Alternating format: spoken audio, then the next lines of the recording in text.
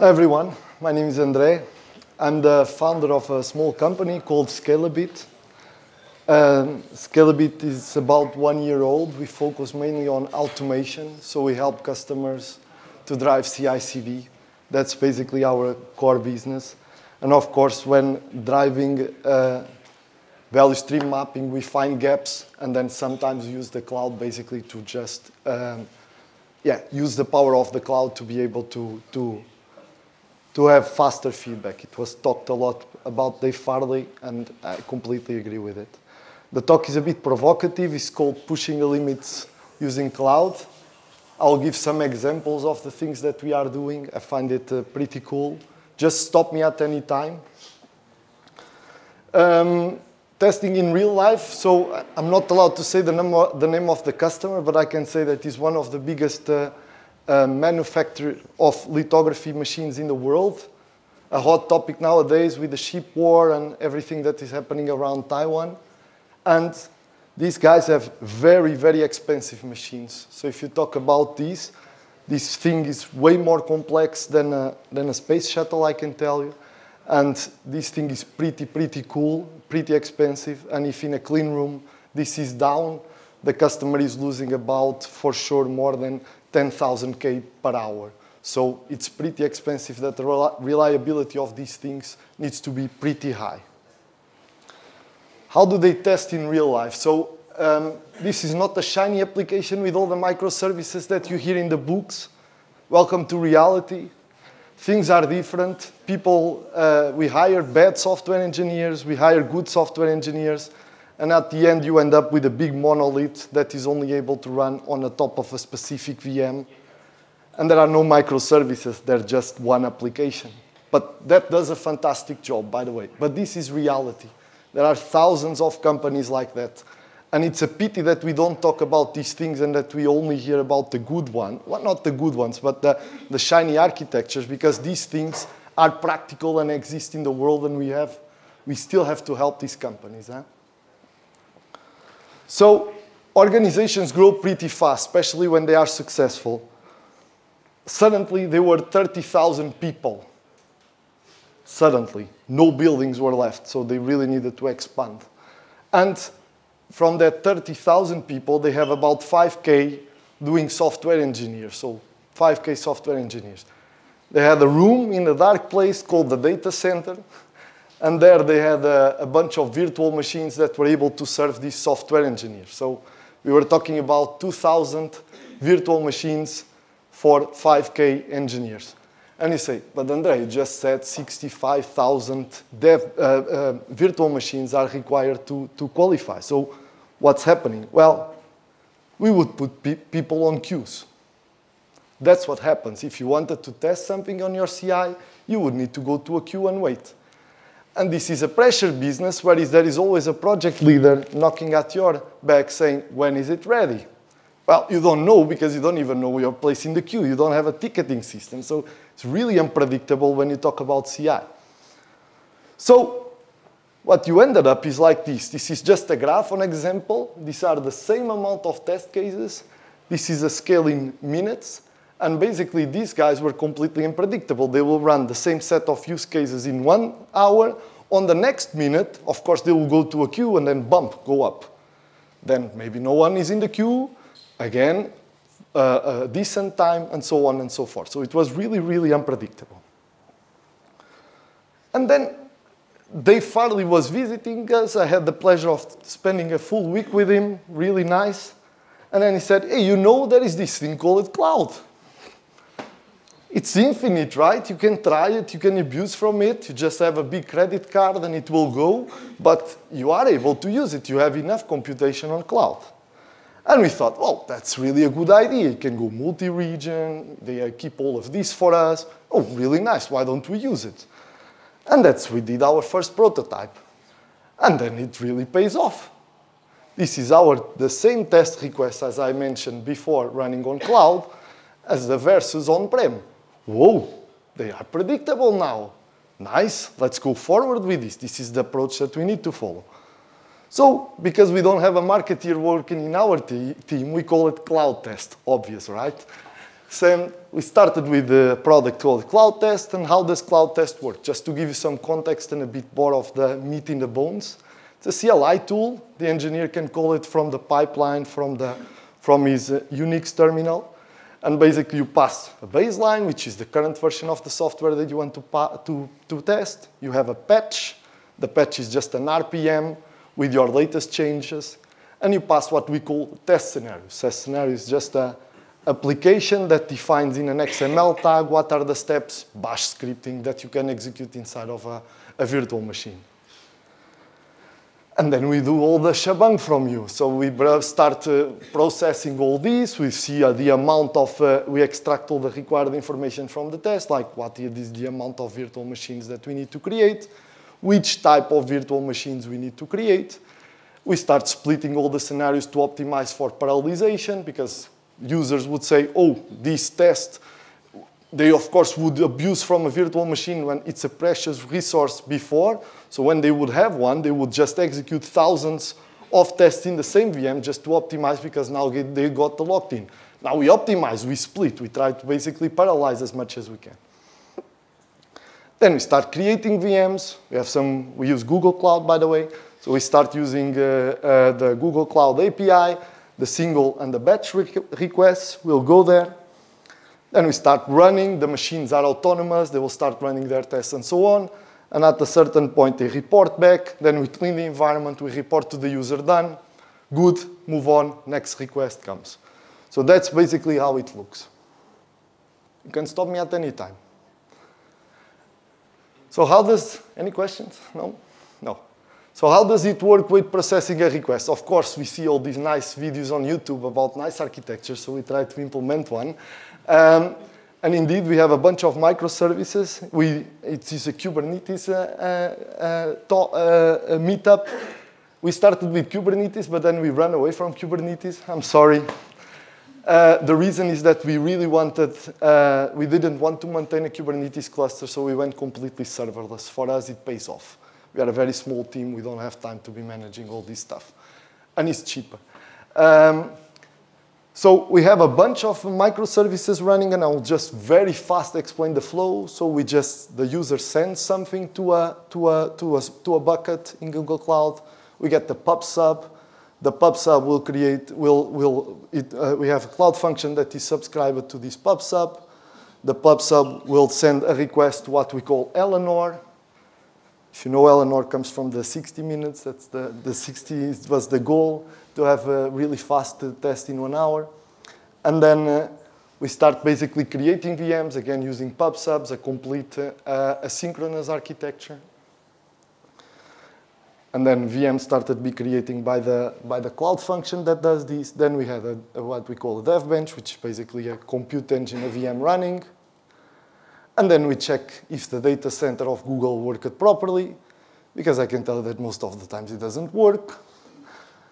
And then VMs are running, we are fine, we can go to the next uh, step. Then when the VM starts executing the test, at the end of executing the test, the VM will just report back every time. So it just sends, again, uh, PubSub, it, it sends data to the bucket so that the user, if he wants to diagnose him, some information, he can see the information inside of the bucket. Um, he sends a pub sub again to notify that uh, what is the test result, if it passed or if it failed. Then we update the test request with the result of the VM passing. Then we update our Firestore, just saying, okay, this, uh, this, v, this, this test passed. And we terminate the VM, and then we are done. Always using asynchronous uh, and a lot of pub subs for ensuring um, that the system can scale like expected. So this is an example. You see the command line, very ugly. Queue something, bad naming because we don't queue. then we pass a timeout because sometimes you can imagine that tests just hang. So we need to kill the test request, otherwise it's just burning the credit card every time. A customer doesn't really like it. Um, you pass a baseline that you want, you pass the patch, it starts doing all of this, and then you get a very fancy uh, web page with the test results that the user can, can see. Very raw, very practical, up to the point, No bullshit, just run the test, give me the results, and move on. Maybe a bit about the technology. We use a lot of Terraform, so we manage all our infrastructure as code. We use a lot of Go uh, code. We use GitHub. Sorry for that. There's someone from CircleCI here today. we do multiple fully automated deployments per day, so we really deploy into production to our customers without them even noticing what is happening. Uh, follow the principle. We just deploy, deploy, deploy as we go we are all deploying Europe West 4 for uh, re regulation reasons, but I will go there. And because I forgot something, I just wanted to mention something. Remember this, on this architecture, we create virtual machines. And then this is what we call the control plane, because this is basically controlling with the status of, an all, of the whole request, but this is the execution unit. This is where the VMs are running. So then we do like I mentioned, uh, we do a lot of depo the deployments are all in Europe West 4, and we are a team of six engineers. So we really need to move fast in order to fulfill this. We use the pattern of a SaaS service internally. So we deploy, we have one team, one project, one team, one project. This is also for uh, um, scalability reasons. Who from here knows what is a quota in cloud? In Google Cloud, a quota? Okay, I will explain it, that also. And then we have about 90 plus execution Google Cloud projects where we deploy per team, and then we have a data project. Well, our developers really like it, as you can imagine, right? So you see the graph. This is basically the tendency of the amount of requests that we got per month. And this is the amount of VMs per month. So we are currently about creating about 10 million virtual machines per month. This is the scale that we are talking about. So if something goes wrong, indeed, we have a metric system in place to tell us. Well, when you do this and you get the feedback, when the engineers really like the feedback, they start being smart about it. So they use it and abuse it, right? And the first thing that they notice is the billing model of GCP. In GCP, you basically pay the same for one VM running for 60 minutes or six VMs running for 10 minutes. So what our engineers started to doing is basically optimizing for parallelization. They don't care. They get the same billing and a faster feedback, so why don't we try to split everything and to run it fast? And when you do this, you really start reaching the scalability levels of what, is a, what, what happens on cloud. Things start getting pretty busy everywhere. Eh? So we had basically two issues, capacity and quota management, and we have quota issues with bandwidth. Because most of you didn't raise your hand, maybe you're too shy or you simply don't know, but a quota is basically a soft break in a cloud provider if by mistake you say, I want to spin up 1 million VMs, the cloud provider puts a quote and says, for this project, we only allow you to spin up 100 VMs. So that by mistake, if you do something, then you will get a big bill. So the cloud provider always tries to, to, to slow things down. So first problem, very simple, very easy to explain. We are doing CI in high, in high scale, right? So this is really high scale but I cannot control the behavior of my users. We have spiky workloads. So sometimes the user says, I'm going to test something now, but other times of the day, especially during the night, is pretty flat. And what you see here is a graph where basically this is the limit of CPUs that we had over time. And if, if you see the sum of the max of CPUs that we could use for this particular uh, project, you see that we went a lot of times above the quota. And what happens if you go above the quota? In our case, our application will put the request on a queue. So we were implementing sort of a queue because of the quota management. We discussed it multiple times this with Google, and they were having a lot of trouble explaining this to the capacities team inside of Google. So the guys that are really managing the data center. Why? Because we would go to them and say, we need more quota. But then they would look at the average and say, why? You're always at 40%. Why do you need more quota? And then we say, yeah, but we hit the quota limits a bunch of times. And they say, yeah, that's your problem. You have to manage that. But the problem is that you need to. What happened? I think you removed the cable or something. No, You reached the I reached the presentation. presentation limit. You get out of quota. I get out of quota. I see. Oh, You should raise the limit. yeah, we should raise the limit.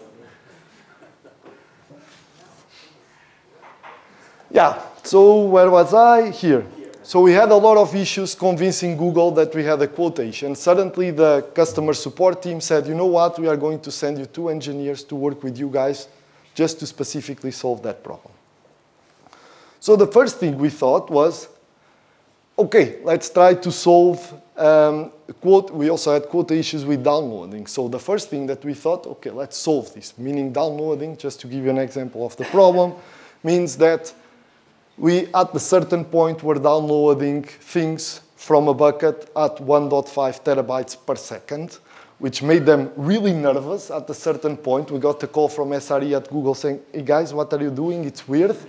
Uh, but it's obvious, right? Because when you spin up a VM, if that VM needs a specific tool, it needs to download the tool. We are spinning up 10,000 VMs with 1, G, 1 GB per tool. You reach this, we are parallelizing everything. So again, a problem of scalability that we never thought about. This is pretty impressive. This is 500 times the, the network card that, for instance, I have in my, in my PC. So what we did basically was, okay, let's split for multiple regions, multiple zones, because we never did that from the beginning. Rookie mistake. Then what happens is that we started basically saying, okay, instead of just running the VMs in one, in one region, we'll run in multiple regions and then we download. But this has a problem because when you download from the same region, it's free. But when you start downloading from different regions, you have to pay. Yeah. So it turned out that for us, it was cheaper just to replicate all the data in all the regions, having the same buckets everywhere, than just paying for the traffic that was happening around all the different regions. So this was one of the, the problems that we had to solve. Yeah, but it's weird, Andre, because you started with quota and, and spiky, but this doesn't really solve the spiky problem of the workloads. You're right. We still had this. So, because even if we would have running in different regions, we would still have quota issues regarding the amount of uh, virtual machines being created. Then we come up with what we call a resource pool concept. With the help of Google, we implemented these. And then what's the idea? Instead of having a fixed pool of projects to run the VMs, why don't we just create a pool of projects where all the VMs are running and we balance all the work that is being done on the control plane instead of spinning up VMs on this control plane? Why don't we just have a pool of workers available in multiple regions that can scale on demand? And then we just say, okay, this request comes, go to this pool. This request comes, goes to this pool. Indeed, what uh, happens with doing this is that we balance the load. Instead of having spiky loads every time in one single project, now we balance, and we, like I mentioned before, we had a 40% average load on the system. By making the runners project, we just grouped everything, and now we are always on that average. And every time that we need something, we just uh, measure look and see, hey, we are reaching now levels of 60%. Please, Google, give us more capacity on this region, create another project on this resource pool. And that's how it works. So basically, we move it. The control plane still remains on the on per project, per team, but now we have multiple runner projects that are running in different regions and just uh, running VMs in different places of the world as we want. Conclusion, I think I went pretty fast. Conclusion is go immediately multi-region, uh, especially when you want to scale, because scaling is pretty hard. And the other thing is that scaling is hard. I don't have any special advice for you. The only advice that I have is that every day we, fi- we find a new problem. And uh, it's a constant fight to try to balance between everything, but uh, this is basically the work that we have done. That's it. Questions?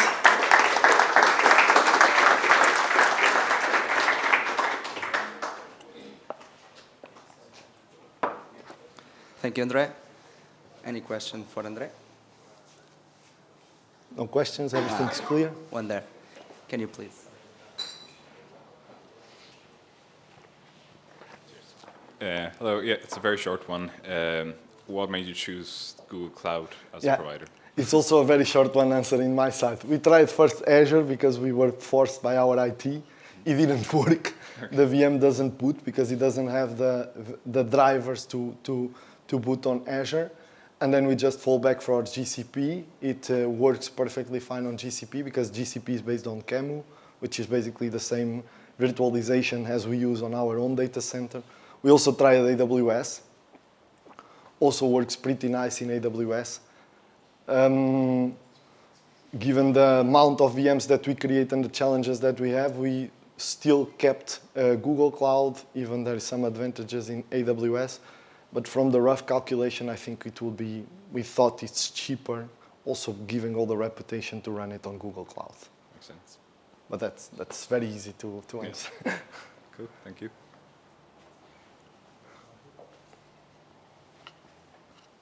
Uh, you mentioned HashiCorp Terraform as part of the stack. Is the uh, license change from HashiCorp, is that a problem somehow for this project? no, no, if we need, we'll pay for it. We are pretty happy with the stack, and uh, I see all the discussion around it, but for us, it's still okay. Anyone else? Yeah. Um, hi. Uh, so I'm now curious, how do you use Terraform? Is that how you deploy the VMs? No, the VMs are fully created using, uh, using Go and the Google Cloud API provided by Go. What we use Terraform is basically, go to the slide.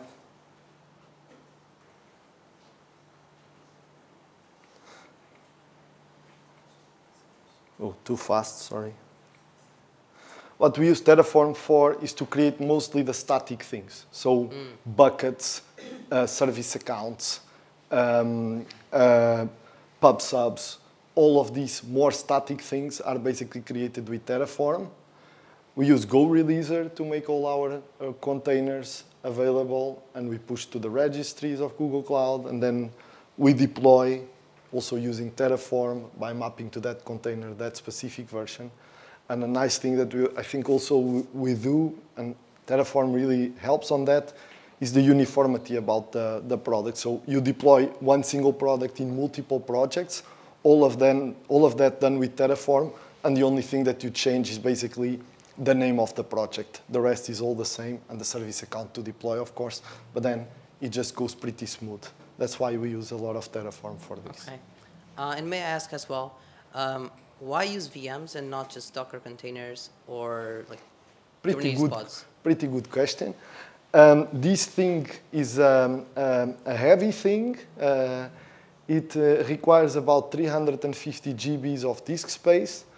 We did convert, Google has technology for this, to convert VMs to containers, but um, it ends up in a, not a win-win situation because then your Kubernetes cluster or the platform where you would need to run basically would only be able to run one container itself because that thing is so heavy and you cannot share you cannot share a disk between uh, the VMs. They really need to be attached. That's how the application is done. So we end, I wish we could go to containers and because of course would solve a lot of the problems that we have, especially the billing. But uh, uh, but but indeed we, cou- we we cannot. Also the time it takes to to fetch the container, uh, it's so heavy that doesn't pay off. It's just better to go to a VM and use the VM. Uh, if I can ask one more. Yeah. Um, wasn't it a lot of extra costs going from on-premise to cloud? Even though you got a lot of Yeah, performance you we, we always have that discussion internally, and uh, there's a lot of uh, discussion about it, especially our build is not something that I'm proud of. uh, On the other hand, I still believe that the price of ironing is cheaper than the price of a human being. And I think that developers waiting for feedback is way more expensive than uh, spinning up a VM and paying some cents. We also did the rough cost estimation about what is the price on-prem and what was the price on Google Cloud, and it was almost the same. So there was not really a, a, a big difference in that sense. I think that even Google Cloud with discounts and right now it doesn't go down that often, but with prices going uh, down at the time, it would still be cheaper. But maintaining a data center is also pretty expensive and pretty difficult because doing these guys are experts doing this. We are not. Yeah. Thank you.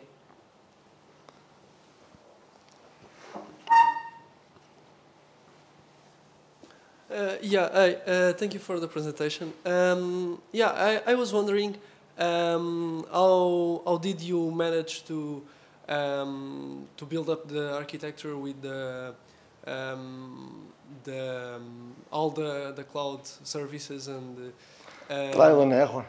sorry? Trial and error. Yeah, So basic. And, uh, yeah. yeah, yeah, and the, in that process, um, since this is uh, uh, uses a lot of uh, different services on the cloud, um, how do you catch bugs? How do you manage that? A lot of metrics, I assume. Um, but what are your uh, insights? Let's say. Yeah, so uh, we, when we started, we were, we were by far not experts on these. So we also had uh, an assignment from someone from, from Google Professional Services to work with us at the time. They did some help on, especially on the scaling of the, because the proof of concept was pretty easy to do. But when you want to scale, the architecture completely changes. Um, and we were very picky from the beginning. So we did never took shortcuts in that sense. So all our application is pretty well tested. Um, we can deploy pretty fast. Our pipeline runs in about one hour. Uh, we, we, we were very picky since the beginning. Everything was infrastructure as code. And then we had also fantastic users that complain a lot and reach out to us when they see things are not okay. So that also helps a lot because the best metric that you have is your customer. Sometimes we don't even see things happening and they are immediately reaching out to us saying, hey, this is, doesn't look okay, what do you think it is? But it was basically, we, ne we never started with this. Like I said, we started with basically with a Kubernetes cluster. And then we noticed ah, this is standing still most of the times. The execution part is really this. This is the core of the product. And then we said, okay, maybe going serverless give us less, less uh, uh, pain points. We went and it went pretty well. But it just grew organically as we were learning. There's no secret, it's just trial and error. Okay, thank you. I think it was a question over there. Yeah.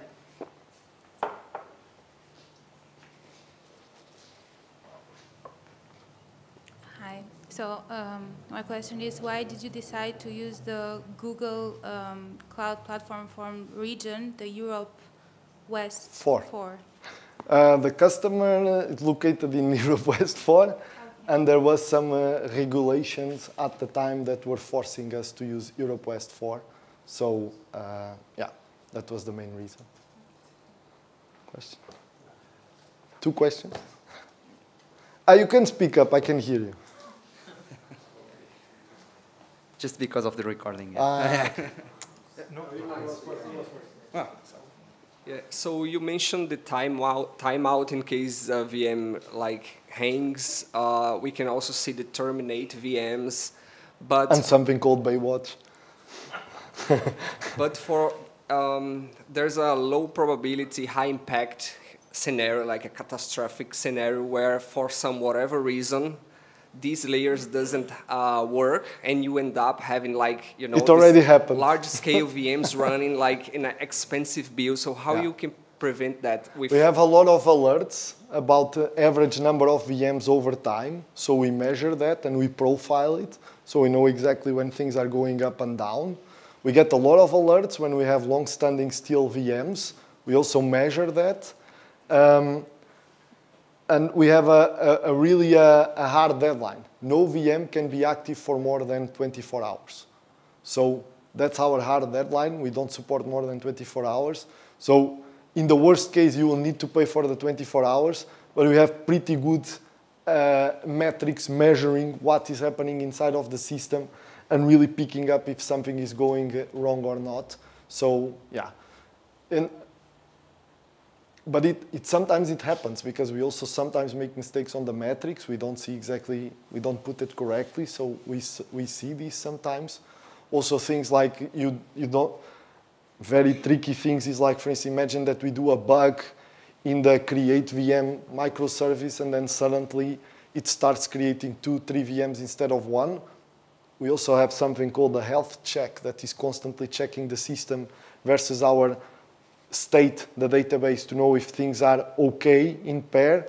But the system is pretty dynamic. It's 10 million VMs per month, right? So you cannot measure in one point and then do the calculation and know again in the next point. So there's always an error. But that's, that's the best we can try to do. The other one was. No. I can take it. Uh, did you try any sort of caching uh, to reduce that network transfer? We tried. Maybe maybe we were not that smart now if I look back. But um, so the user uh, the user uses the bucket to extract tools basically, and we have some custom tools, for instance. And you're right, we could always cache the bucket and put the some tools immediately with the VM instead of downloading the whole time. We could also make a snapshot out of the VM and use that, that snapshot based on the, on, on the request. But it's so dynamic that makes it pretty hard to do. We also measure the time of making a snapshot to then create a VM image and then from the VM image create instances. It's pretty slow, which would slow down the processing. And this change that I mentioned here, I can tell you the numbers. We are spending more now with the extra thing on the bucket. We spend like 2K per month. That's nothing on the billing that we are talking about. That's peanuts. It doesn't even goes in the graph. yeah.